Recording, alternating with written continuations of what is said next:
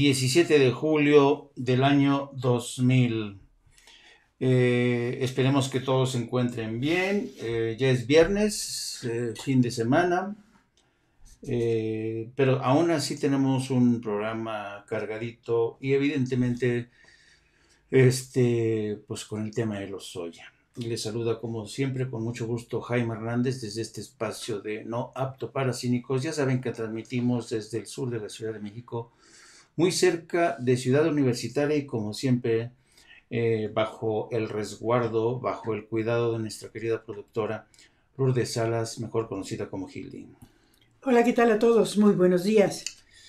Pues efectivamente, eh, Emilio Lozoya ha llegado y lo que ha llamado la atención es que nada más llegar se lo llevaron a un hospital porque al parecer el pobre hombre tiene anemia, está debilitado, yo más bien creo que quieren cuidarlo muy bien, no, no se confían y no quieren que le pase nada antes de que tenga su primera audiencia. El presidente dijo hoy que espera que lo que diga eh, Emilio Lozoya pues resulte interesante para todos y sobre todo para él, porque él quiere saber el entramado de esta historia de corrupción, una de las historias de corrupción que yo creo que van a tocar eh, van a tocar muchas bases y evidentemente apuntarán hacia Enrique Peña Nieto. Precisamente el presidente dijo hoy, aclaró que en caso de que las investigaciones o las denuncias de Mira Lozoya apunten hacia el expresidente Enrique Peña Nieto, él no es quien para protegerlo o defenderlo. Se actuará con la justicia y el pueblo, aseguró, tendrá la última palabra. Yo quisiera saber qué quiso decir con eso porque si la justicia es igual para todos, tendría que serlo igual para un expresidente. Pero bueno, vamos a ver cómo se traduce sobre los hechos esta decisión de eh, trasladar, extraditar. Ahora vamos a ver qué pasa con César Duarte, que también sabemos que fue detenido en Estados Unidos y que está en vías de extradición. Y la historia, finalmente la historia siempre oculta la historia eh, poco conocida, la que imaginábamos muchos, pero que no, no conseguíamos aterrizar en los hechos con testimonios directos, va a empezar a contarse. Yo creo que va a ser un momento histórico que además va a marcar un antes y un después, porque se trata de ver hasta qué punto la presidencia de Andrés Manuel López Obrador realmente se ha empeñado en cumplir su palabra de hacer, terminar primero con estas prácticas y dos, que haya rendición de cuentas. Pues todos vamos a estar pendientes de esta audiencia y, em, y vamos a ver qué, cómo, cómo, este, cómo funcionan las cosas. Eh, y también vamos a estar pendientes de lo que ocurre en... Um, ha, habido en el curso de las últimas horas una provocación de un buque de guerra de Estados Unidos en las costas de Venezuela Vamos a hablar también de, ese tema. Y con 68 mil casos de COVID en las últimas 24 horas, Estados Unidos vuelve a batir récord.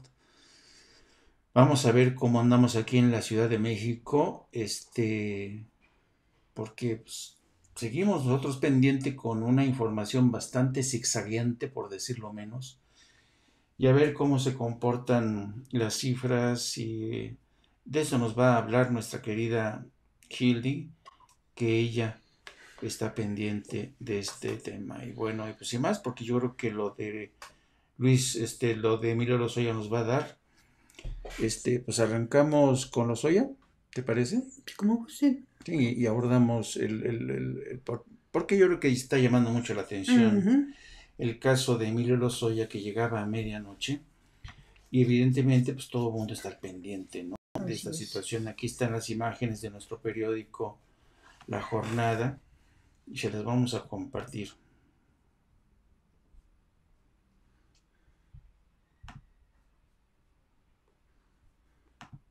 No se vayan a lastimar, por favor. Den paso, por favor, hacia un lado. Échale la luz, tantito.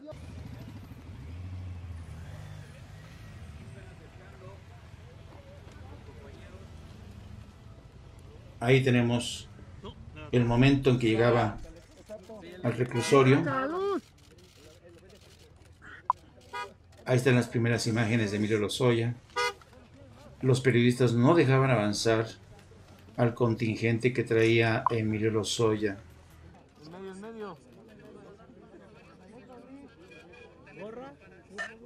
Le pusieron una gorra.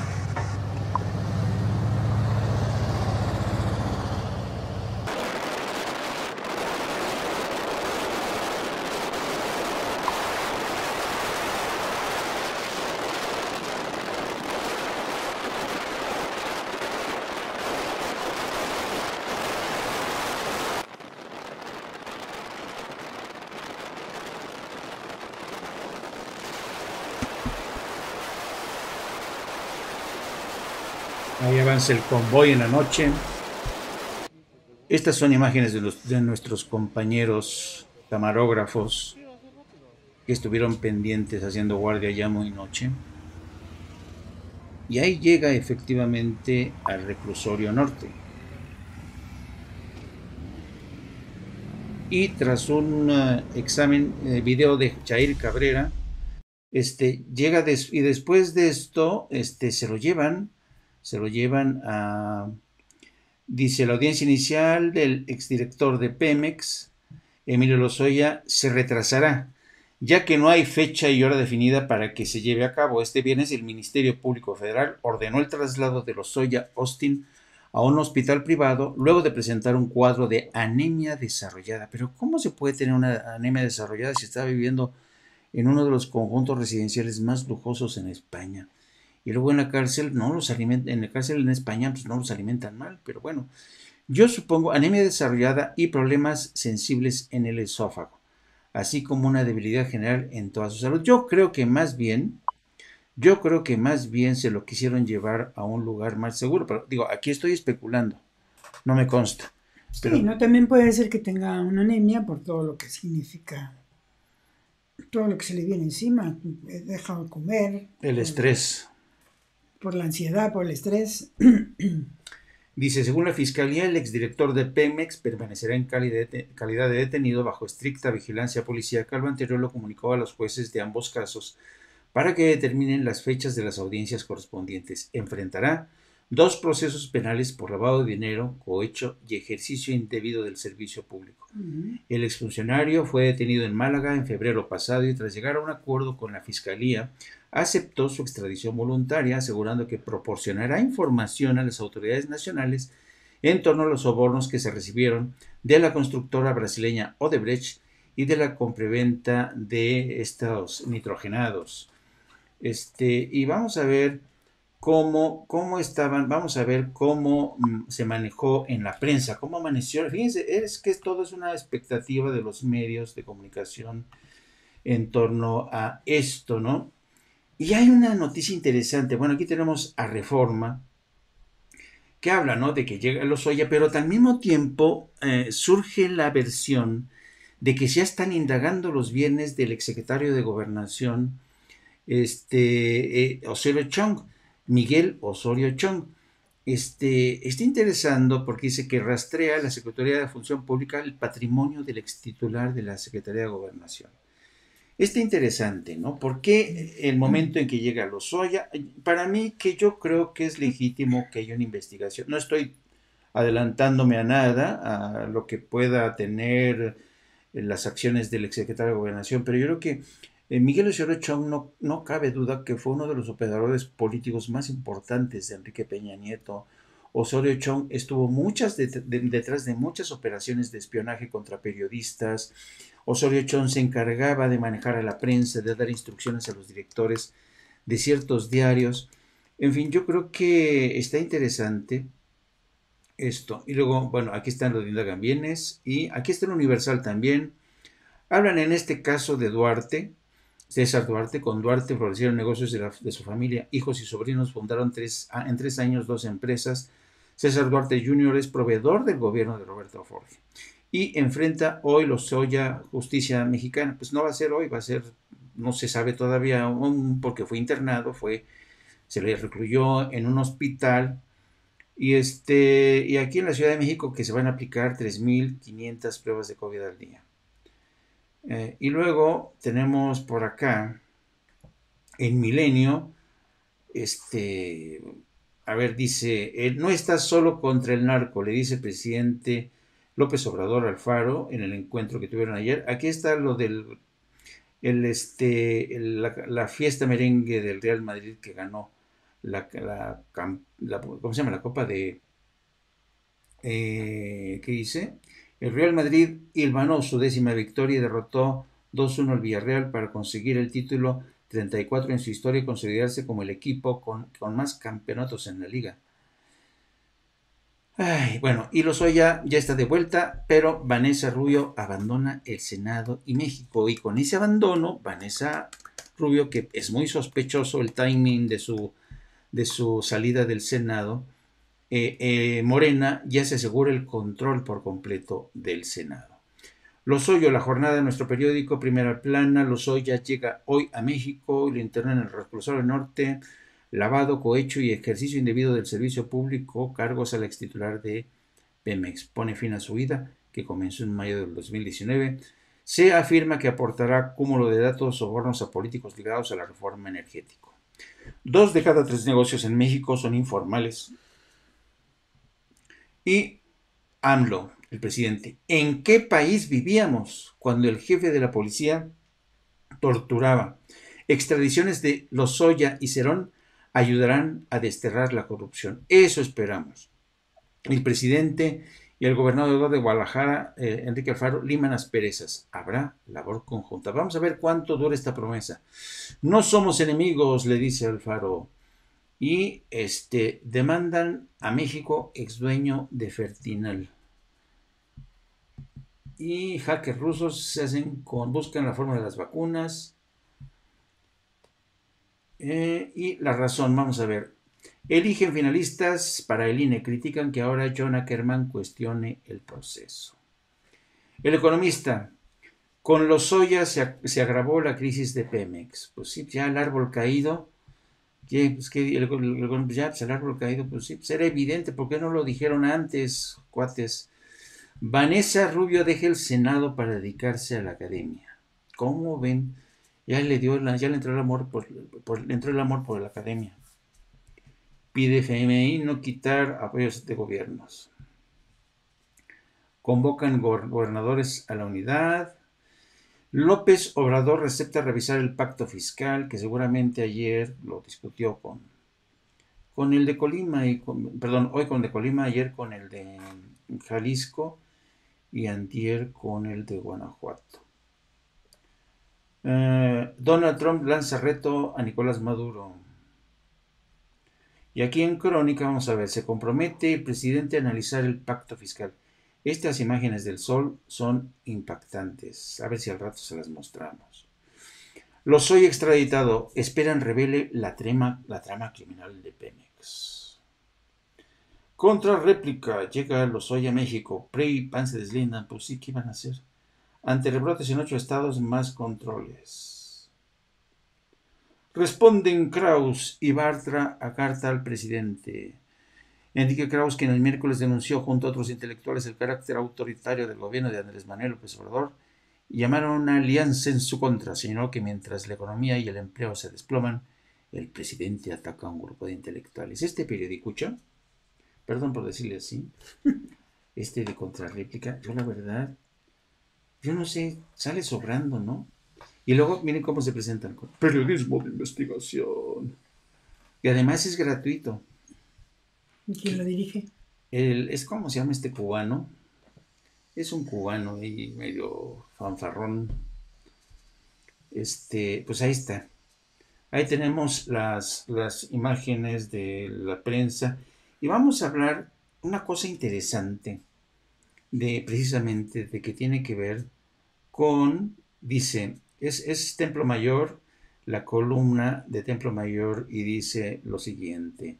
Más de una, más de uno se pregunta qué asunto personal tan importante tiene Vanessa Rubio como para agarrarle a Morena el control total del Senado y es que al pedir licencia la priista quien ocupará su escaño es Nancy Sánchez, morenista, ex tricolor, identificada con el grupo de gobernador de los dos años, Jaime Bonilla. Obviamente el más feliz con el movimiento sería Ricardo Monreal, porque la lógica indica que la nueva legisladora se sumaría a su bancada. Lo, ilógico del asunto es que Sánchez no era la candidata suplente original de Rubio cuando se registraron las fórmulas en el INE. Extrañamente la inscribieron al cuarto para las doce, con René Juárez como exdirigente nacional del PRI. ¿Por qué el guerrerense ¿Podría el, guerrerense explicar este regalazo? La pregunta es sin fuero. Uh, Teresita Sandor, puedes, a, ver, a, ver, si podemos más tarde y si no, mañana les prometo. Bueno, y hay otra columna, no toda, pero hay una parte interesante de la columna hoy del Universal que se llama Bajo Reserva, que dice, la 4T quiere acalambrar a Osorio Chong. Dice, ahora que la autollamada Cuarta Transformación busca poner de moda el tema de la persecución a exfuncionarios de la administración pasada, como el caso de Emilio Lozoya y César Duarte, nos dicen que en la Secretaría de la Función Pública no se quieren quedar atrás y han comenzado a filtrar información sobre una investigación al senador del PRI y exsecretario de Gobernación en el sexenio pasado, Miguel Osorio Chong. Nos aseguran que la información de la indagatoria de don Miguel es real. Sin embargo, nos hace notar que a diferencia de los otros dos casos, se trata de un tema cerrado. O sea, ¿están sugiriendo desde el Universal que esto va a ser así puro teatro?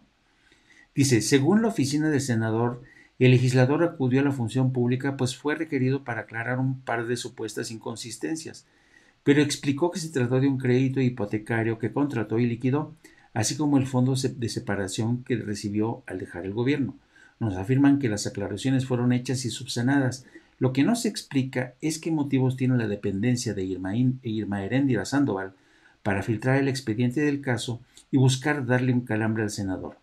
¿Será que, la ¿Será que como la Secretaría de Función Pública nada tuvo que ver con los logros de las extradiciones de los hoy y el caso Duarte, no se quiere quedar fuera de los reflectores?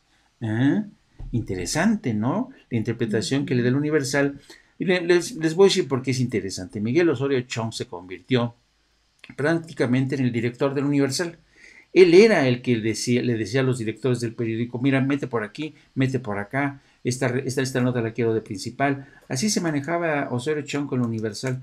Y ahora el Universal lo está defendiendo, diciéndolo que esto no, que esto es, un paripé, una simulación, y que a lo mejor Imeréndira se quiere meter con él porque, pues para, para no perder protagonismo. Yo francamente lo dudo, yo el Universal desde hace ya rato ya a mí me decepcionó tanto este periódico. Pero en fin, así son las cosas en este mundo de la política y sobre todo de los medios de comunicación. Viejas alianzas que resurgen cuando el antiguo aliado que era el poderoso que tenía el poder entra en problemas, pues el periódico lo tiene que defender. Y eh, pues vamos a regresar al tema de los hoy esta mañana al presidente. Le preguntaron, oiga, pues qué va a pasar, ¿no? Pues, ¿Por qué este eh, ¿por qué se ha permitido que se vaya a un hospital nada más llegar? Pues que el, le preguntan al presidente, pues no, el, fiscal no tendría que informarle y el presidente contestó, yo creo que de manera correcta, a veces, pues, señores, el, fiscal no no me no responde ante mí, responde ante el pueblo porque es un poder independiente, es el poder judicial. Vamos a ver lo que dijo el presidente. A ver.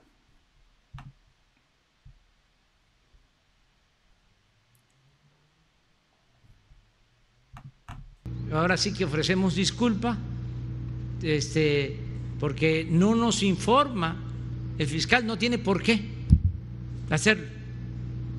Es una eh, institución independiente, autónoma.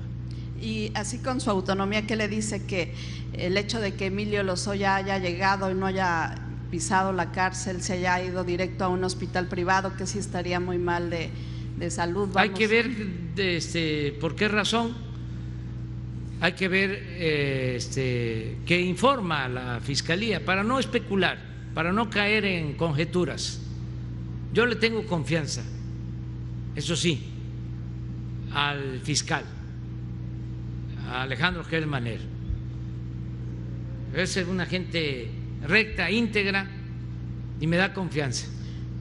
Sí, porque si no se informa se podría pensar que hay un trato privilegiado. Sí, hay que eh, informar eh, lo que es. Eh, yo creo que el que nada debe, nada teme, y la vida pública tiene que ser cada vez más pública, cada vez más pública. Nada de acuerdos en lo oscurito, nada de sigilo eh, cuando se trata de asuntos de interés eh, público. Informar, transparentar. La transparencia es una regla de oro de la democracia. Entonces vamos a esperar mejor. Yo estoy seguro que van ellos a, a informar. Además, a mí me interesa saber, este, enterarme, como a todos los ciudadanos, quiero saber todo lo que va a declarar el señor eh, Lozoya, este, porque es eh, de mis temas este, más importantes, el combate a la corrupción. Entonces, eh, todos debemos de estar pendientes, informándonos. Nada más, eh, repito, para que no quede duda, y lo puedo probar técnica, científicamente, la causa principal de la desigualdad económica y social en México es la corrupción. La corrupción es la principal causa de la desigualdad económica y social. Y por la corrupción se desató también la inseguridad y la violencia. Es el principal problema de México. Por eso están despistados quienes quieren restaurar el antiguo régimen caracterizado por la corrupción por los privilegios, por la corrupción hay pobreza, por la corrupción hay desigualdad, por la corrupción hay violencia. ¿Cómo es que quieren que regresemos? Pero además, los que supuestamente fueron alumnos de don Daniel Cosío Villegas, el mejor intelectual que ha habido en los últimos tiempos, sobre todo en lo que tiene que ver con la historia de nuestro país. ¿Qué decía don Daniel? ¿Cómo se les olvidó de que la causa que provocó, decía, tronchó la Revolución Mexicana, lo que más daño causó a la Revolución Mexicana fue la instauración, el establecimiento de la corrupción en México. Eso decía el maestro de ellos. Estuvo hasta de sinodal de sus tesis. ¿Y cómo se les olvida? Y durante muchísimo tiempo, cuando imperó la corrupción, ya lo dije, porque siempre ha habido corrupción desde la llegada de los españoles.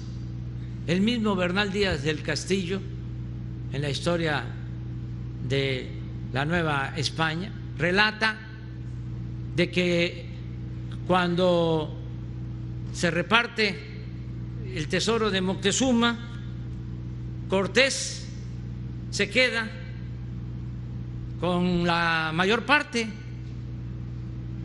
desde la llegada de los españoles. Y en el caso de los virreyes durante los tres siglos de dominación colonial, lo mismo imperó, pero nunca, nunca había habido tanta corrupción en México como en el periodo neoliberal, de 1983 a 2018, 36 años de saqueo. Bueno, durante todo ese tiempo, estos escritores y periodistas guardaron silencio, no hablaron del tema, como si no hubiese pasado nada, más que no les puedo decir este, más fuerte porque tengo que actuar con prudencia. Pero resulta que son los paladines de la democracia. Cuando eh, se dedicaron a tapar o a este, guardar silencio mientras saqueaban al país. Y ellos mismos recibiendo canonjías, porque tenían revistas, empresas eh, editoriales que recibían contratos de la hacienda pública, revistas subvencionadas, lo mismo que pasaba en el porfiriato, que el gobierno subvencionaba a todos los periódicos y también a la intelectualidad, que también, dicho sea de paso, este, ahora eh, hay eh, pues una eh, crisis también en cuanto a las ciencias sociales. Es decir, ya no tenemos a los escritores, no tenemos a los intelectuales que se tenían antes.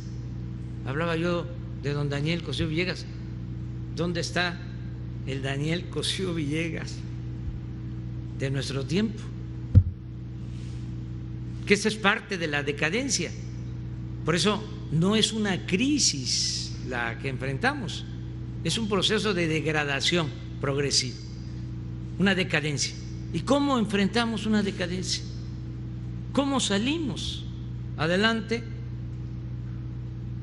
de una eh, crisis que afecta a todos los órdenes de la vida pública. Solo hay un camino, uno solo, la transformación del país, arrancar de raíz, manera radical, arrancar de raíz el régimen de corrupción. Eso es lo que puede llevar a el renacimiento de México y muchas gracias. Nos vemos el lunes. Nada más en este tema de la corrupción, quizá por eso mete tanto ruido esta postura suya de, del punto final con los expresidentes. Solo para cerrar este, este debate desde mi punto de vista, ¿usted qué haría? ¿Qué va a pasar si las investigaciones llevan a Peña Nieto? ¿Usted va a frenar esas, esas investigaciones? No lo puedo hacer, no lo puedo hacer. Políticamente eh, me expreso y eh, siempre he sido consecuente, siempre eh, actúo como pienso. Desde que tomé posición en el discurso inicial del gobierno, traté el tema para que no se olvide la próxima semana lo vamos a poner aquí, lo que dije sobre este asunto. Eh, sin embargo, no soy tapadera de nadie. Yo llegué a la presidencia con el apoyo del pueblo de México. Mi único amo es el pueblo de México. No tengo eh, compromisos con grupos de intereses creados. De modo que este, lo que diga el pueblo y en este caso lo que eh, diga la autoridad competente, la Fiscalía General de la República. Gracias. Muchas gracias. Pues ahí lo tienen. Ahí está la nota, como dirían. Yo creo lo que diga el pueblo, bueno, y yo soy pueblo, y ustedes son pueblo, y yo digo que sí, que sí, sale implicado Enrique Peña Neto, se le tiene que juzgar, se le tiene que pedir rendición de cuentas. Claro, tenemos que concederle el beneficio de la duda, es decir, la presunción de inocencia. Ah, no, pues como a todos, pues eso es un derecho que es para todo el pueblo. Para todo el pueblo. Pero no puede irse de rositas, Peña Nieto. Es decir, es imposible. Es imposible que... ¿Tú te explicas que Emilio Lozoya haya hecho todo lo que hizo sin el visto bueno del presidente? Es imposible, o sea, todo eso lo tiene que haber sabido. Si no se lo dijo él directamente, se lo dije cualquiera. Claro. No puede ser. Es decir, el presidente de México va a ser siempre la persona más informada en este país. Claro. De lo bueno y de lo malo. Por tanto, no puede. De lo limpio y de lo sucio. Eso forzosamente. O sea, no, ningún, ningún presidente de este país se puede llamar a engaño porque tiene todos los, tiene todos los servicios de inteligencia. Otra cosa es que eh, no les convenga saber o decir que no saben, eso es otra cosa. Así es, pero, va a ser. Pero tiene, tiene que tener conocimiento y si dejó hacer y si dejó ir, pues es porque entonces hay muchas más otras cosas que dejó hacer y dejó ir. Bueno, vamos a saludar a nuestros amigos. Vamos a ver, vamos, vamos desde acá. Araceli Villán, buenas tardes. Primera vez que los voy a escuchar en vivo. Saludos, bienvenida Araceli. Elizabeth Olmedo, ¿cómo estás, querida? Alberto Beto. María Zambrano, bienvenida también, Araceli. Dice, dice María Zambrano, a ver si no se muere antes de cantar. No, María, no, no. Quetzo, Hildy, Jaime, compañeros del chat, saludos. Pachi Pachi, buenas tardes. Teresita Sandor, buenas. Antonieta Carlos, saludos a todos. Luis Huesca, ¿cómo estás, Luis? Adriana Soriano. Elizabeth Olmedo, yo deduzco que no llegó al reclusorio por seguridad del gobierno y que Lozoya es entendible, tiene información privilegiada, está en riesgo su familia y su salud, su integridad física. Hay que, hay que reconocer. Las cárceles en México, en las cárceles en México puede pasar de todo, así es que. Momo Barquera, hola, buen día. ¿Qué opina de que Vanessa? Bueno, ya eso ya más o menos dijimos, ¿no? Que suena extraño, todo el mundo está extrañado. ¿Por qué motivos? Pero yo sospecho, Momo, que tiene que ver con el papel que podría haber jugado porque Vanessa Rubio era una de las mujeres más informadas de los movimientos financieros eh, en el sexenio de Peña Nieto. Dice Miguel Ángel Martínez Cubas, saludos Jaime a todos. Aquí escuchándolos no puedo comentar mucho porque estoy en actividades, pero que los escucho, los escucho muy bien, gracias. Gracias. Manuel Casas, hola amigos, ¿cómo estás? Eh, Tere González, don Jaime y Hildy Good Vibes, Leticia Morales, saludos. Jaime, ¿nos puedes hablar esto del INE? A ver si lo podemos más tarde y si no mañana, Teresita. Buenas noches a todos. Rose G. dice Hermate, si las preguntas que suelta esa reportera dan vergüenza ajena, la verdad. Ella, es una, ella y buena, buena parte de los que cubren la mañanera. Y buenos días, por cierto. Pues fíjate que en esta ocasión yo creo que hizo preguntas pertinentes. Yo creo que de hecho soltaron la nota. Adriana Soriano, presidente, le dice a la reportera que no hay que especular. Lo primero que hay que hacer ella es trato privilegiado. O sea, no, yo creo, ¿saben qué? Yo creo que aquí de lo que se trata no es especular, sino de, ¿saben? Como cuando al toro le ponen banderillas, así, para que, para que responda, así hace. Es una técnica vieja, muy vieja de los periodistas ensartan la bandillera, entonces obligan al presidente a responder. Es una técnica muy válida. Una técnica de entrevista. Una técnica de entrevista. También dice Elizabeth Almedo, hay, también el hay que estar atento porque quieren poner puros enviados del plan y familiar de Ciro Moreyama. John Acker me lo dijo ayer, sí es cierto, eso está preocupante. Vamos a ver cómo evoluciona. Rose G. Y luego los periodistas no quieren que les critiquemos, les dicen claramente que hay que esperar la fuente oficial. No, yo creo que aquí no hay que ser tan severos, ¿eh? no hay que ser tan severos, aunque no nos simpaticen algunos, no hay que ser tan severos.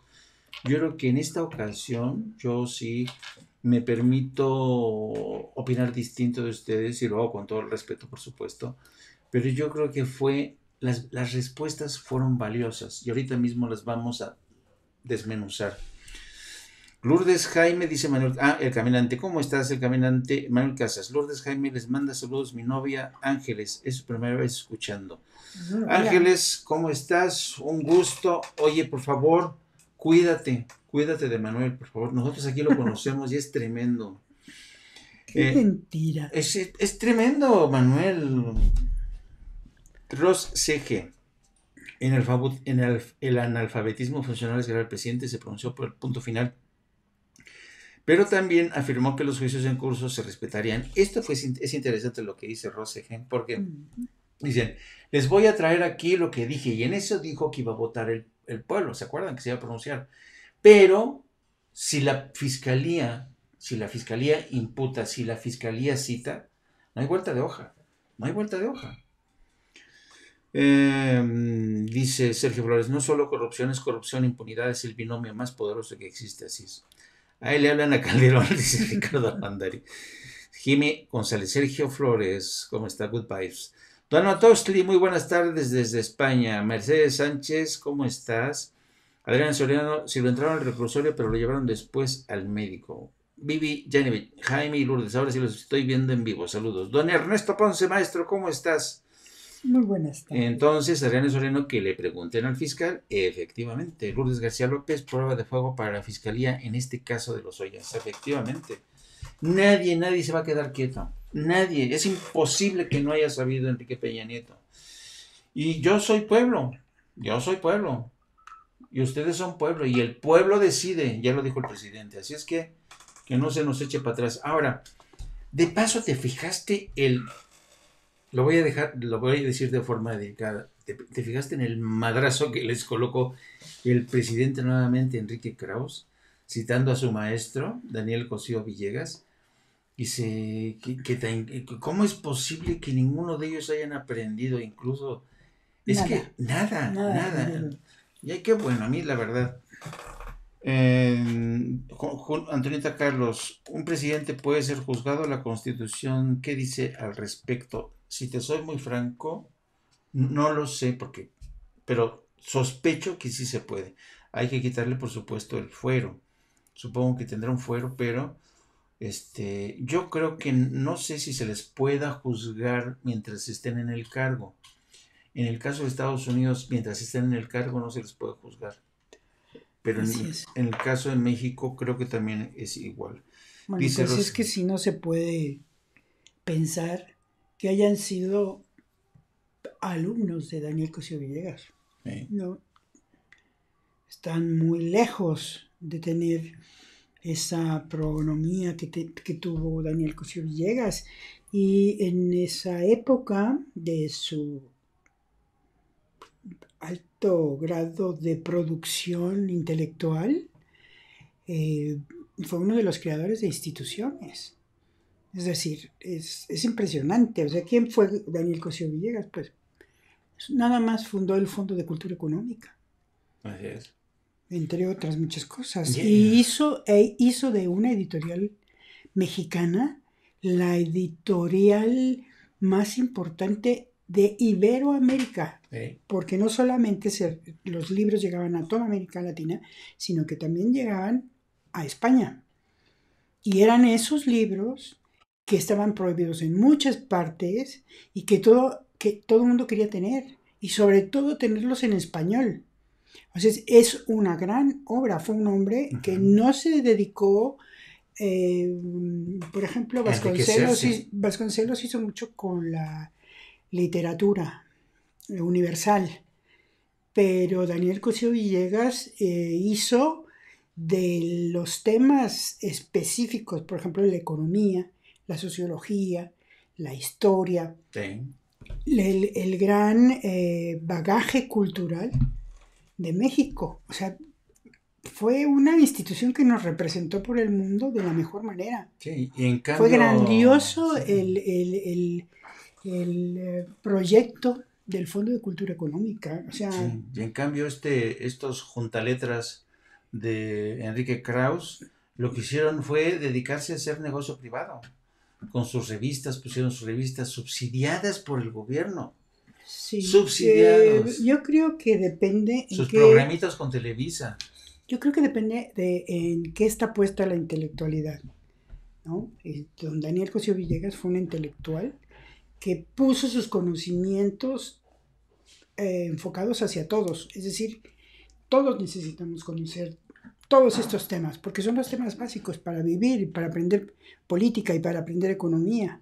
Las, las, teorías económicas, las teorías políticas, básicamente. y em, no depender de que lleguen los libros o de Estados Unidos o de Francia o de Alemania para un reducido grupo, sino tenerlos aquí, traducirlos y dárselos a todos y sobre todo a unos precios inmejorables. En esa época los libros que hacía el Fondo de Cultura y lo sigue haciendo, pero es en ese momento eran bastante económicos los libros del Fondo de Cultura Económica. Y eh, bueno, Daniel Cosío Villegas nació en 1898, o sea, lo que no habría, lo que no habría vivido eh, don Daniel acerca de la evolución económica y política de este país y murió en marzo de 1976. Y entonces es un gran intelectual. Lo mismo estaba enterado de economía, que de historia, que de sociología, que de política y además era ensayista.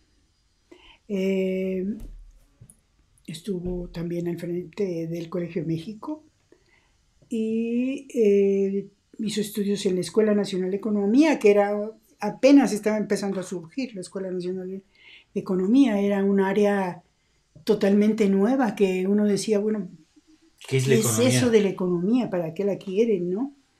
Y también fue miembro del Colegio Nacional y los estudios de economía, porque él fue el que trajo a México la mirada de la economía, el fondo de, para qué estudiar economía. Eh, sus estudios los hizo en Harvard, en la Universidad de Wisconsin y en la Universidad Cornell. O sea, un hombre de muchas letras, de mucha formación académica. Y también hizo un máster en la London School of Economics y la Escuela Libre de Ciencias Políticas de París. Entonces, incluso hizo un doctorado de economía agrícola. Impresionante. O sea, no hay comparación. Y qué bueno. Porque algo que dejó materialmente es, esa, es ese gran proyecto del Fondo de Cultura Económica. Es que yo creo que fue muy bueno que el presidente recordara y hiciera esta comparación no solamente intelectual, moral, sino generacional, para de, verdad, para que estos mequetrefes entiendan que no, no, no pueden ya dar gato por liebre. La gente los ve venir desde, desde hace 10 pueblos, ya ya saben que lo único que tienen son intereses, en fin. Dice Ana Lozano, Difícil desarticular esta compleja y extensa red de corrupción arraigada por décadas. Todos se salvaban con licencias y amparos. Espero que ahora sí los jueces hagan su trabajo. Digo, saludos a todos, Sil Drummond. El tema de la hospitalización de los Oya ya va más en el sentido de proteger al testigo, ¿correcto? Yo, creo que sí, sí, yo creo que sí, porque es un testigo clave. Puede, este, él tiene muchísima información. Bueno, y cambiando de tercio, pero fue, es un tema también muy interesante que dio a conocer hoy el presidente y que también lo trae nuestro periódico La Jornada, es este tema. Fíjense, la seguridad de puertos y, aduanas del país va a pasar a manos de las Fuerzas Armadas. Interesantísimo esto, porque acuérdense que los puertos y aduanas ya estaban penetradas por el crimen organizado, porque a través de estos puertos y aduanas pues hacían tráfico de drogas, tráfico de armas, tráfico de estos, ¿cómo se llaman? Precursores, precursores para el tráfico de drogas. Dice, la seguridad de aduanas puerto y puertos quedará a cargo de las Fuerzas Armadas para combatir el tráfico de drogas y el contrabando, anunció el presidente Andrés Manuel López Obrador. En el caso específico de Manzanillo, dijo que esta problemática tiene origen en la corrupción en la participación de autoridades en actividades ilícitas, lo cual ha permitido la introducción de drogas, especialmente sintéticas, con alto poder destructivo en los jóvenes, lo cual también explica los atentados y homicidios en, la región y otras partes del país. Comillas. Hemos tomado la decisión. Acabo de darlo a conocer al Gabinete de Seguridad de que las aduanas marítimas y terrestres van a estar a cargo de elementos de la Secretaría de Defensa y de Marina. Lo mismo los puertos del país para que haya seguridad y se evite la introducción de drogas. He dado esta instrucción al secretario de Seguridad Pública, al secretario de Marina, lo voy a notificar formalmente al secretario de Comunicaciones y Transportes. Así es que interesante, ¿no? Hemos tomado esta decisión por el mal manejo del puerto, de puertos, el contrabando, la introducción de droga hemos tomado esta decisión que estoy dando a conocer al pueblo de México desde Manzanillo. Yo creo que es interesante, pero, pero, eh, hay algo que yo me pregunto y que nos vamos a preguntar seguramente muchos. Y ahora es que saben que no es por nada, pero digo, a, mí se me hace una buena decisión, pero no puede ser una decisión ad eternum, es decir, que el ejército se haga cargo para siempre. Yo creo que tiene que haber una purga ahí de quienes controlaban y se dejaron corromper porque además ya tenemos al ejército que está construyendo aeropuertos, tenemos al ejército que está controlando migrantes, tenemos al ejército que está tras criminales, tenemos al ejército ahora que se va a estar encargando de los puertos y, aduanas. Entonces yo creo que aquí el, el, ejército se ha convertido en the last resort, en el último recurso del, del presidente para ir parchando estos agujeros que dejó tras de sí toda esta red de corruptelas. Pero yo creo que ojalá que sea, supongo que será una medida este, temporal, porque si no, imagínate que el ejército está haciendo de todo el ejército. Sí. Está ayudando también en tareas de pandemia, está construyendo hospitales, está atendiendo enfermos de pandemia. La verdad es que el, el, ejército ya está exhausto. Es una carga enorme de trabajo y responsabilidad la que tiene protegiendo. Eh, sí, pero ese es este es el momento. Ah, no, es decir, esta crisis del COVID-19 les ha, les ha indilgado una carga de trabajo a muchos sectores, entre ellos el ejército. Lo mismo que lo están sufriendo en los hospitales.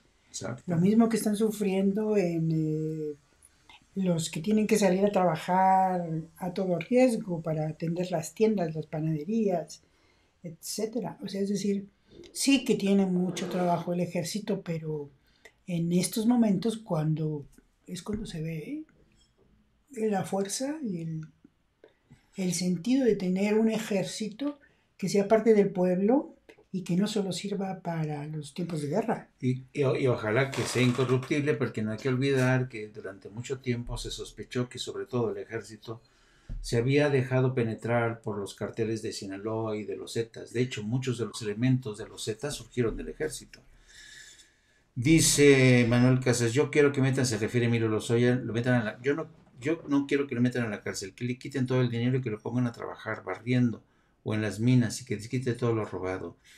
Qué corazón tan más negro tienes, Manuel. ¿Ves? ¿Ves, Ángeles? Ten cuidado con este muchacho. no es cierto, es broma. El maestro Ponce, hay que recordar el papel que jugó Televisa en la consagración de muchos de estos intelectuales firmantes como los mejor dotados del país. Y ellos y muchos se la creyeron, pues sí. Síndrome Lourdes, Jaime, ojalá en, eh, ojalá en un espacio que tengan tiempo nos compartan su opinión sobre la amenaza velada de Isabel Miranda a Ricardo Rafael por haber obtenido el expediente judicial del caso Wallace. ¿Sí? Ese, es un tema obligado, ¿sabes? Que hay que cerrar filas con Ricardo Rafael, porque ya basta esta, esta señora Miranda de Wallace que... Eh, eh, ¿Cómo utilizó la muerte de su hijo? La supuesta muerte de su hijo. Dice Pablo Escamilla, qué buena noticia, ahí va poco a poco, qué orgullo tener soldados a nuestros servicios. Pues sí, pero lo que pasa es que ya es mucha chamba, Paul, pero a ver, es que no hay Este es el momento. Este es el momento. De aguantar esa chamba. Bueno, y centrándonos, centrándonos antes de entrar nuevamente en el tema de la pandemia que no la podemos dejar. Eh, dice, pero está bien para ir componiendo todo lo que está podrido de corrupción. Yo creo que está planeado para estar un tiempo. Acuérdate, que en cinco años estarán dentro. Sí, efectivamente, dice, dice, dice, dice en esta ocasión yo quiero darles un giro, pero un giro que no es tan drástico, pero que tiene que ver un poco con lo que habló hoy, en la mañana el presidente. De esta corrupción que heredamos incluso de los españoles y platicaba, hacía referencia a las crónicas de Bernal del Castillo, cuando hay la repartición de los tesoros de, Moctezuma y Hernán Cortés es, es, el que se apaña, ¿no? Y dice, no, venga para acá, esto es para mí, ¿no? Y mucho se ha debatido, sobre todo cuando nos ven desde España y nos ven como los mexicanitos corruptos, ¿no? Que no tenemos salvación. España siempre nos ha visto con esta mirada condescendiente. Se los digo yo, se los decimos nosotros, que fuimos 14 años corresponsales en España. Entonces, siempre hay esta tendencia en España de 17. ver... 17 años. Entonces, tenemos esta tendencia de, de, vernos así como, así como hacen un poco los gringos, que nos ven como portadores de las peores prácticas, son corruptos por naturaleza, pero a veces se olvidan de ver sus propios errores, no se, no se ven el ombligo que está lleno, lleno, lleno, lleno ahí de casos de corrupción. Y me refiero específicamente al caso del rey Juan Carlos, que ya ven que está causando una crisis política que los españoles que son promonárquicos, ya saben que España es una monarquía parlamentaria, los españoles se niegan a ver. Un momento. Y entonces, eh, ha surgido últimamente, ya ven, esta tentación, sobre todo de medios como El País, que eh, se, ha, se, ha, asumido una actitud de juez y parte, defendiendo los intereses de empresas españolas, las, las eléctricas, este, sometiendo a juicio al presidente Andrés Manuel López Obrador, al que no bajan de ser un pueblerino, de no ser un presidente con, lo comparan casi casi con Nicolás Maduro. Entonces a mí se me hace interesante eh, en este contexto de que España nos ve siempre con este cristal que nos retrata como criminales, como este, corruptos. Miren lo que está pasando en España. Esta, en, la, en, el, en su edición de hoy, el diario El Mundo está publicando que Corina, que fue una de las amantes del rey Juan Carlos, dice Corina que el rey Juan Carlos le reclamó el dinero el año que le abdicó y aquí el mundo está revelando en exclusiva la carta que la empresaria alemana Corina Larsen le envió a la casa del rey en 2019 creo que son 25 millones de euros o 65 millones de euros. Eh, aquí está. Entonces, eh, el, rey le entrega a su amante el dinero, pero luego resulta que este, dice, no, es, es para, es para que, este, para que vean que, que, yo, o sea, casi casi yo soy muy buena persona. Y entonces le entrega este dinero. Pero luego, luego, este, luego se lo reclama el dinero. Y entonces él le dice, ¿cómo, cómo, cómo? ¿No que me lo habías dado? ¿No que me lo habías dado? Dice Antonieta Carlos, sí se puede juzgar al presidente ya retirado del cargo, lo siento, ya retirado, ajá, exacto, ya retirado. Según el artículo 114 de la Constitución. Muchas gracias, Carlas. Este, entonces, fíjense, la amante de Juan Carlos lo está acusando prácticamente de corrupción, de haberle dado el dinero a ella y después de habérselo reclamado. ¿Y ese dinero de dónde salió? Bueno, entonces este es un, es una exclusiva, se ha convertido en una bomba pero como que los españoles hacen como que la Virgen les habla. Este, el diario El País, vamos a ver si el diario El País lo, está, lo trae. Vamos a ver, periódico. Bueno, este es Atrapados, Emiratos Árabes, el gobierno de Cataluña. ¿Dónde está la nota del rey Juan Carlos? Digo, no la veo. Ah, pero si se metan con el tema de Emilio Lozoya, miren. Y ya ves, y ya saben que el, país pues ya tiene, se está metiendo, quiere incursionar desde aquí de México, quiere, quiere ampliar su cobertura. Y pero, ¿dónde está lo del rey? Pregunto al país. Emiratos Árabes incorporan una nueva carrera hacia Marte. El gobierno de Cataluña recomienda a los vecinos del área Barcelona que solo salgan si es este, imprescindible. Vámonos a la parte de, a ver, internacional, opinión. ¿Dónde, dónde, dónde está lo del rey? Fíjense, ¿qué está pasando? Emilio Lozoya, violencia en México, crisis sanitaria. Pero no está lo del rey. ¿Qué pasa? Bueno, entonces, esto sí lo trae el diario El Mundo, que está señalando una acusación del amante del rey de la corrupción. Bueno, y adivinen, dicen, Corina Larsen envió una carta al jefe de la Casa del Rey español el 5 de marzo de 2019 en la que aseguró que el rey emérito le había pedido en 2014 que le devolviera los 65 millones de euros que le había transferido dos años antes desde una fundación panameña radicada en Suiza. Quien fuera amiga íntima, o sea, quien fuera amante, quien fuera amante de don Juan Carlos, precisó Jaime Alfonsín en este documento al que ha tenido acceso el mundo que ella se negó al reintegro para evitar potenciales acusaciones de delitos financieros y que acto seguido el rey emérito reaccionó airadamente.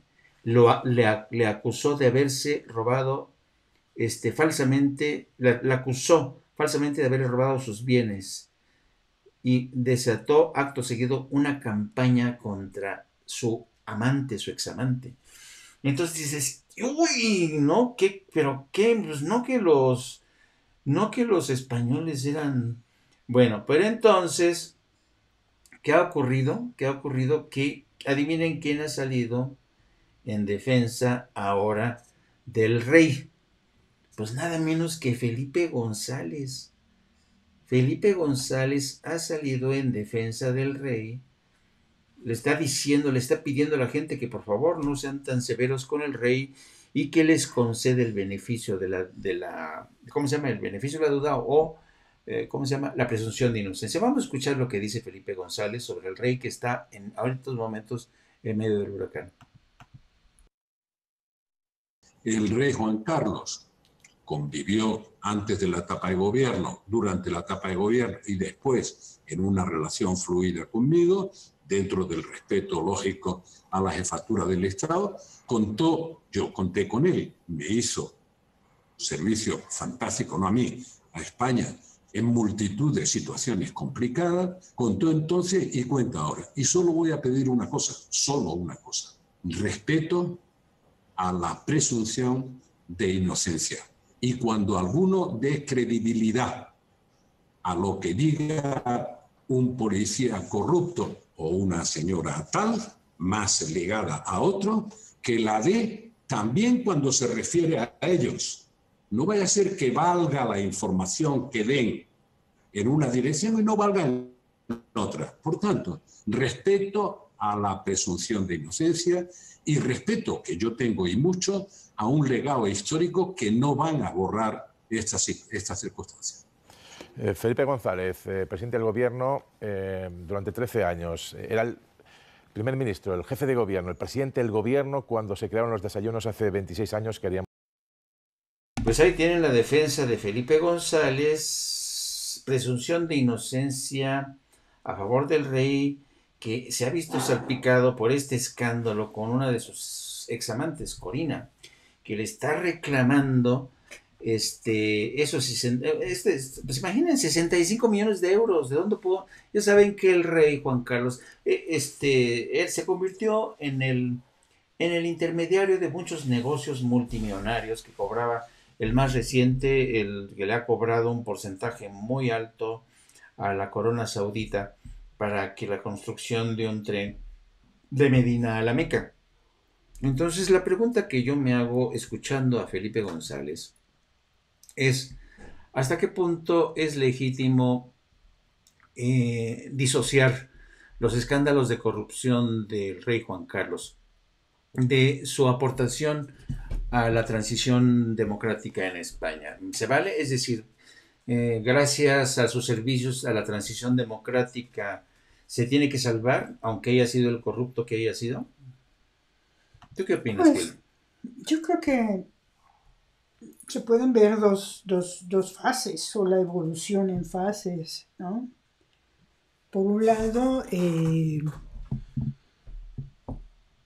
el haber sido la cuña que faltaba para la transición pacífica en España, porque era eh, la persona a la que Franco le tenía confianza, Francisco Franco le tenía confianza, y consideraba que era el único que podía mantener el legado de Francisco Franco.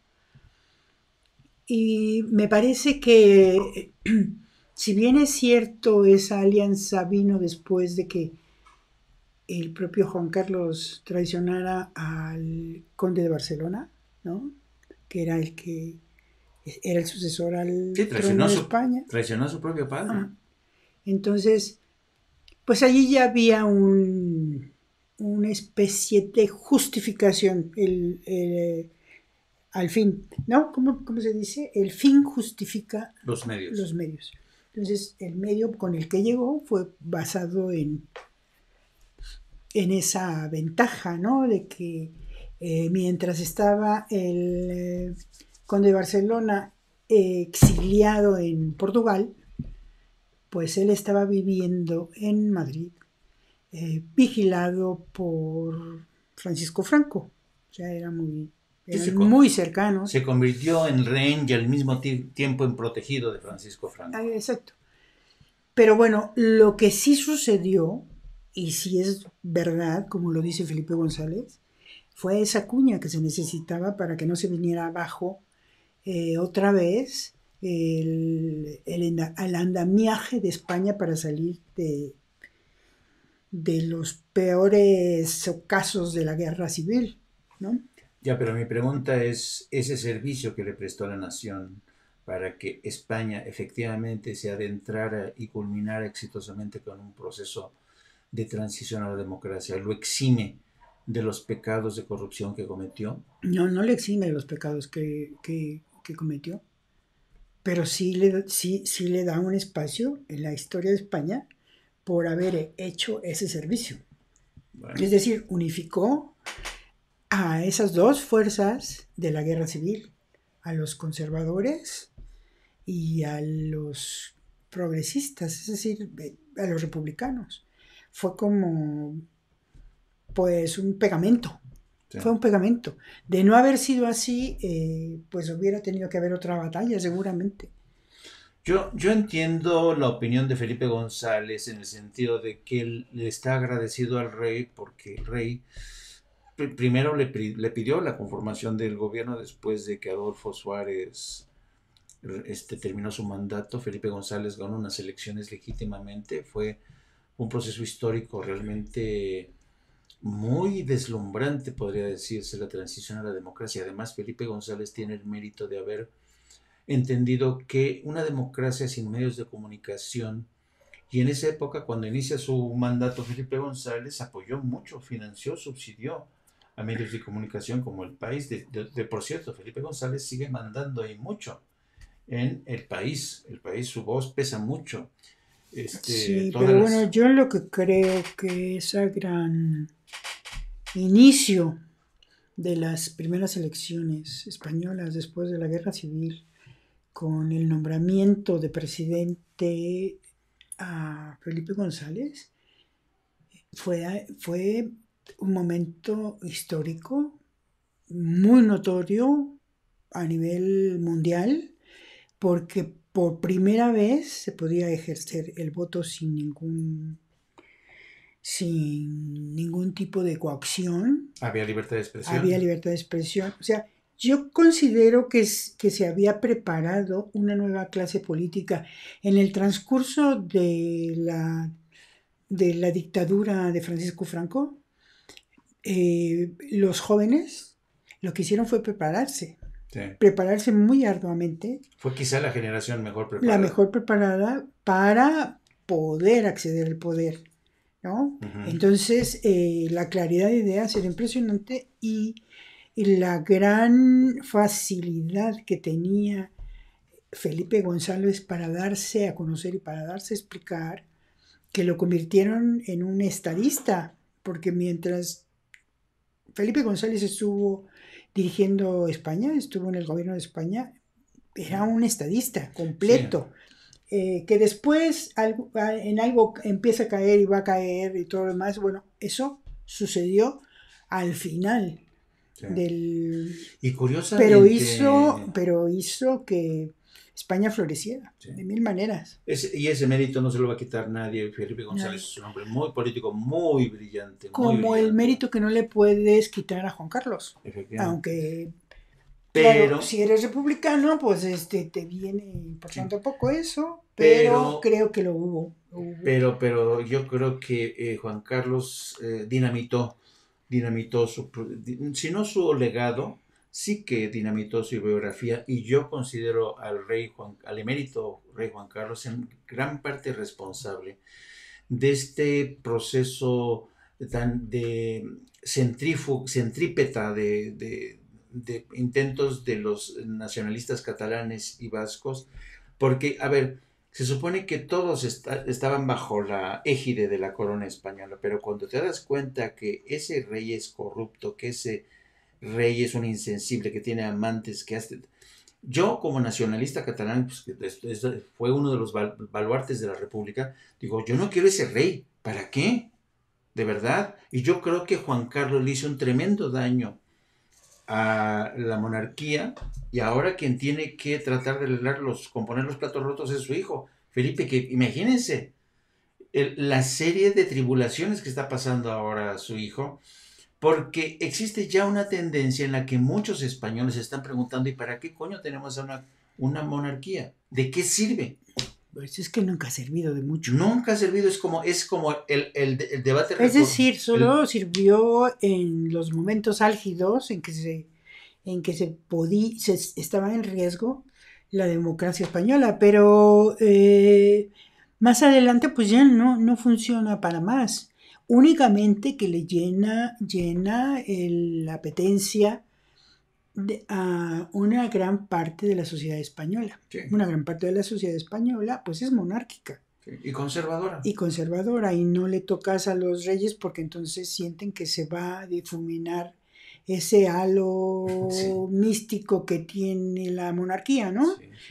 Pero, este, de hecho, mm, se pudo haber quedado España sin, sin el rey ante el cuando le tocó a Juan Carlos despedirse de la, de la corona, ¿no? Abdicar en que ahí estaban las cosas todas rotas, tan rotas que tuvo que abdicar. Sí, pero a los españoles les encanta su monarquía. Pues es como en México, los mexicanos, ¿qué haríamos sin la Virgen de Guadalupe? La mayoría de los mexicanos somos virgen, somos guadalupanos, somos conservadores y guadalupanos. A mí cuando vivía sobre todo en la parte de Los Ángeles, sobre todo en estas partes de, uh, ay, de este, ¿cómo se llama?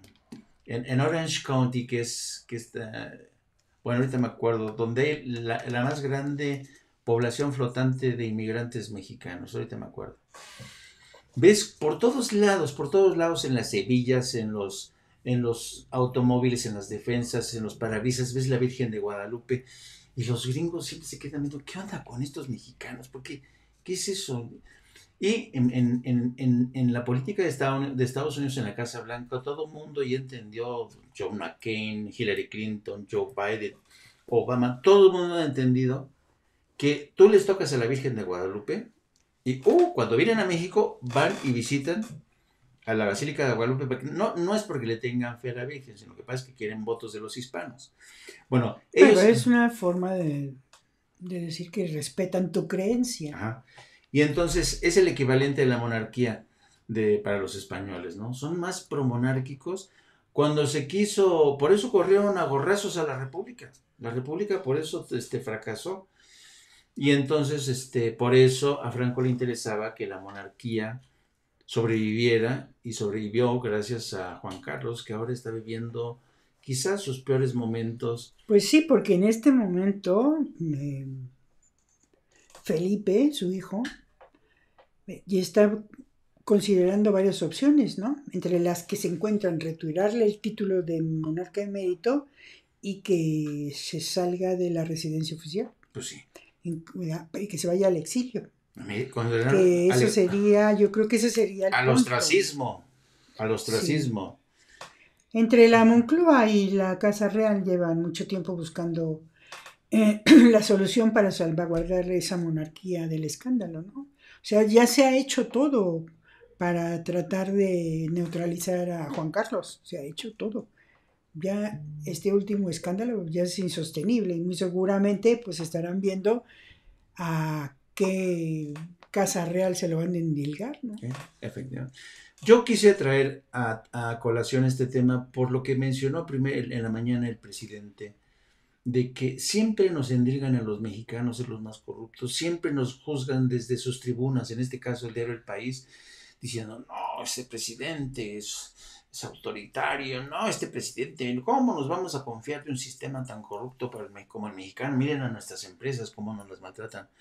Pues no solamente en México, también en España se cuecen las habas hasta en los más altos niveles. Digo, no es que me quiera regodear, no es que me quiera regodear y no me voy a regodear, regodear ante la desgracia que está pasando del sistema monárquico parlamentario en español, pero me llama la atención que un diario como El País como que no le hace mucho caso al tema, ¿no? Como que no lo, como que, ¿qué pasó hoy? ¿Qué pasó? ¿Eh? ¿El país? No, ¿dónde? ¿Qué? Por eso decían, por eso sigue siendo vigente esa frase de en España que dice, cuando te quieras enterar de los asuntos del país, o sea, de España, lee El Mundo, que es el que sacó este documento. Y cuando te quieras enterar de los asuntos del mundo, lee El País. El país siempre te, ha tenido esta vocación de reportar lo que está ocurriendo en el extranjero, en el mundo, ah, pero cuando se toca de temas internos de escándalos, como los que pasó con Felipe González, con los GAL y ahora con el de la monarquía, como que dicen, ay, no, ¿qué, ¿qué está pasando? No, yo ni para acá. Dice Mercedes Morales, pero no todos los mexicanos que vivimos en los USA somos guadalupanos. ¿Cómo? ¿Cómo? Tienes que ser guadalupana, si eres mexicano, no, no, no. Y además tienes que usar Big Paporru. Si te no, la, prueba de que eres mexicano es que eres guadalupano, este, usas Big Vaporru. ¿Y qué otro? Ah, y que te gustan los pulparindos. Si no, no, olvida. Ah, y el tequila, por supuesto. Dice, tengo mucho interés en el tema, pero vengo conduciendo, dice a Toxley, Cuautitlán desde España. Gaby Salazar, la, monarquía debe desaparecer, pues se corrompió en, grados, en grados mayores, que los españoles se pongan en ese tono. Elizabeth Bueno, no olvidemos que los españoles ya se pusieron en ese tono. Y acabaron en una guerra civil donde hubo miles de muertos. Elizabeth Olmedo, es una farsa esa realeza, son los más machistas, corruptos, vividores que los mantiene el gobierno. Les rinden pleitesía quiénes son estas gentes, son como cualquier persona. Si uno se pone a investigar de estas personas, son familias muy disfuncionales. Dice Paul Escamilla, e-, este tema del rey primate español me recordó en un encuentro entre este rey y el presidente José Mujica. Este le, dijo, le dice, tuviste la desgracia de ser rey yo soy un hombre libre. es cierto, grande Mujica. Dice, soy un mexica descolonizado, dice Atoxli. Pues eso, así es, así es. Mónica Juárez, no pasó las pruebas de ser, no pasó las pruebas de ser mexicana. bueno, no, pasa nada, te aceptamos, Mónica, te aceptamos. Este, se me fue, se me, pasó un ángel, como dicen, pasó un ángel, se me fue.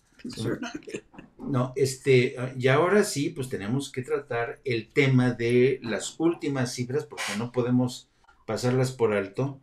Dice María Zambrano, repruebo también, no soy guadalupana. María, por favor. ¿Cómo que no eres guadalupana? Por Dios.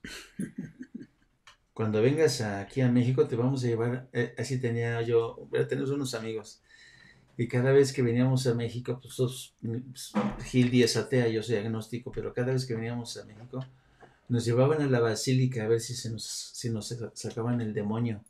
El demonio. Nunca funcionó, desafortunadamente. Es que nunca llevábamos moño. Ese. Este, pues vámonos, mi amor. Perdón, ay, perdón, perdón, Gildy.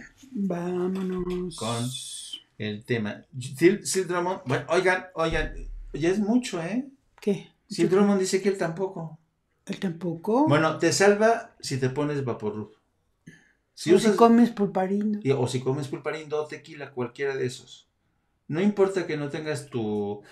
Ah, no, o tu detente, se le llaman. Así los del que trae el presidente. Ajá. ¿Se llama detente? Detente se llaman. Detente, sí. Si traes un detente también te salvas. María Zambrano, tampoco creo en las monarquías, me parece obsoleto. Si yo tampoco, y tampoco me gusta el pulque, Santo Dios. Dices, Elizabeth Almedo, yo sí la pasé. Bueno, cómprense un detente y las aceptamos. Como los que trae el presidente. Bueno, vámonos a las. qué haces eso? Dámonos, no, pues es que son, es más importante que el pasaporte, los detentes. Tequila check, ahí está, ahí está, ¿ves? Ya con eso es suficiente. A ver, ¿cómo andamos de las cifras? Pues las cifras andamos mal. Seguimos mal. El mundo entero anda mal.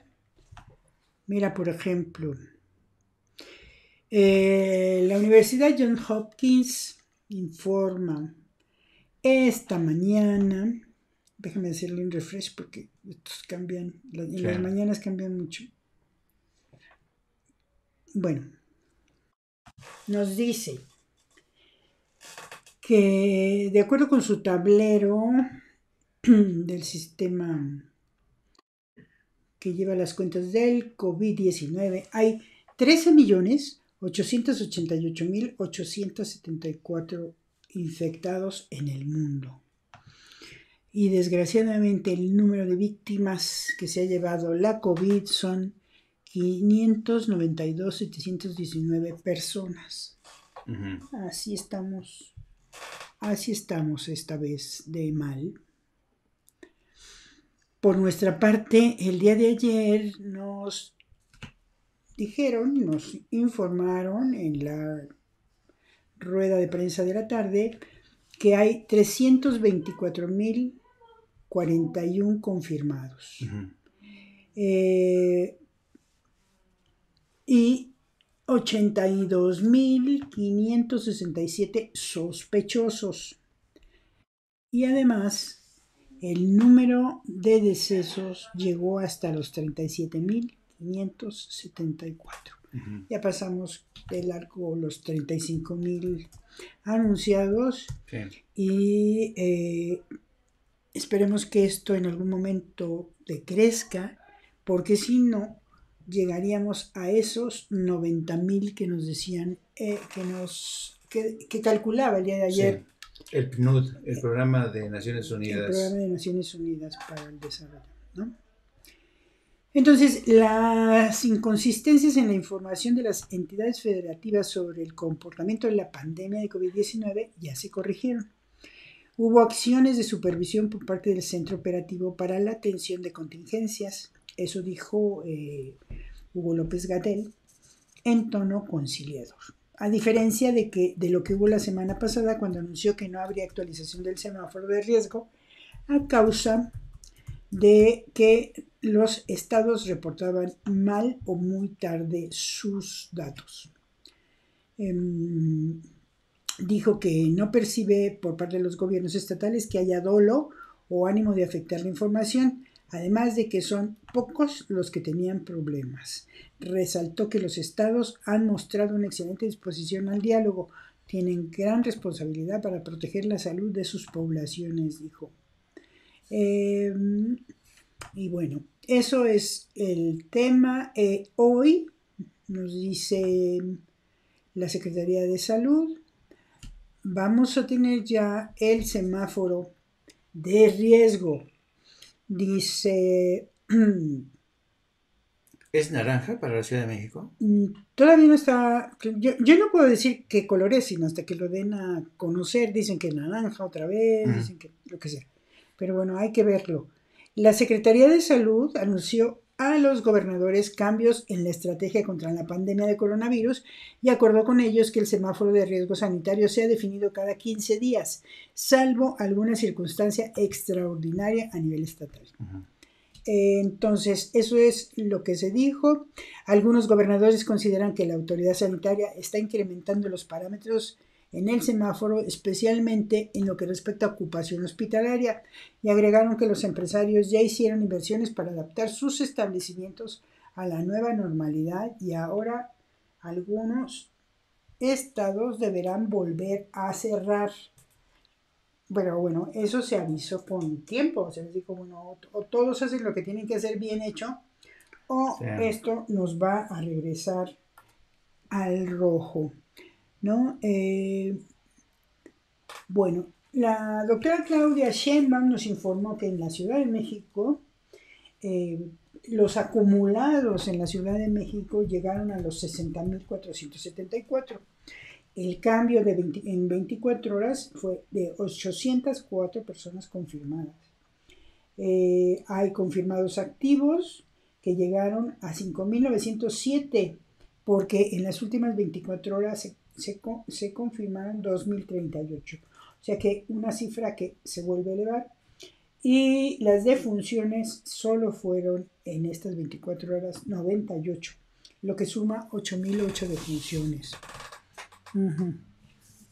Y ahora ya está anunciando que vuelve el semáforo naranja a la Ciudad de México. O sea, no vamos para atrás, pero tampoco salimos del naranja, de acuerdo con las estimaciones que ya hizo la jefa de gobierno. Así es. Una semana más en semáforo naranja. Pues por lo que dijo la Secretaría de Salud serán dos. ¿Dos? Dos semanas. Ok. Dos semanas. Va a ser cada dos semanas el, el aviso de cambio de semáforo. Bueno. Pues eh, yo creo que hasta aquí hemos llegado y queremos cerrar este, compartirles esta imagen que es espectacular del sol. Ah, bueno, pero espérame, también ya anuncian el programa de los Juegos Olímpicos de Tokio. Órale. Los Juegos Olímpicos de Tokio de 2021 tendrán un calendario de competencias casi idéntico al planificado para este año, antes de que el evento fuera suspendido por el coronavirus. Entonces, están muy eh, enfocados en que sí se va a hacer en las fechas el 23 de julio de 2021 y dentro de lo que ya habían estimado para lo que iba a suceder este año. Entonces Tokio pues ya se ve bastante a futuro bastante libre, ¿no? Sí, y luego aprueban en Corea del Sur un ensayo en personas del fármaco contra el COVID-19. Esta es otra de las vacunas que entra en fase, va a entrar en fase 1. Ahorita están en la fase preliminar. Eh, los ensayos en humanos de tratamiento experimental del Celtrion Inc. contra con anticuerpos en personas, perdón. La farmacéutica en todo el mundo está sumida en una carrera por desarrollar vacunas y tratamientos para la enfermedad causadas por el nuevo COVID y que ha detectado a casi 14 millones de personas, matando a más de 580 mil. El tratamiento con anticuerpos de Celtrion está dirigido contra la superficie del virus y diseñado para bloquear su capacidad de instalarse en las células humanas. La compañía planea incluir a 32 voluntarios en colaboración con un hospital local para la fase 1 del estudio del fármaco que ha demostrado provocar una reducción por 100 en la carga viral en las pruebas de animales. O sea que esta es también una vacuna que parece ser que tiene muchas posibilidades de seguir avanzando, pero entraría en esa primera fase de la que acaba de salir, por ejemplo, Moderna, con su vacuna, pero solo con 32 personas. O sea, empiezan a probar en humanos una vacuna en Corea. Bueno, y con esto les dejamos con estas imágenes espectaculares del Sol. Es, son imágenes de la Agencia Espacial Europea que dio a conocer esta, esto espectaculares, la verdad. Eh, fotografías del Sol tomadas a la menor distancia de la historia. En ellas se pueden ver lo que han, lo que han definido como hogueras formadas por burbujas de hidrógeno que arden a 6.000 grados centígrados. Jolines. Bueno amigos, pues acuérdense que hoy vamos a estar en la segunda edición a las 8 de la noche y mañana los esperamos, mañana sábado los esperamos con su cafecito a las 10 de la mañana en nuestra terracita de donde decimos para la tertulia. Aún no tenemos confirmado, pues se les informaremos mañana mismo si tenemos invitado especial o no Sí, si no, no pasa nada, nos, nos entretenemos entre nosotros. Que coman rico, los que estén en Europa, por favor, descansen a planchar oreja y los que están de este lado, los vemos a las 8 de la noche en eh, No Apto para Cínicos. Que estén muy bien, les mandamos un abrazo a todos. A tu talao.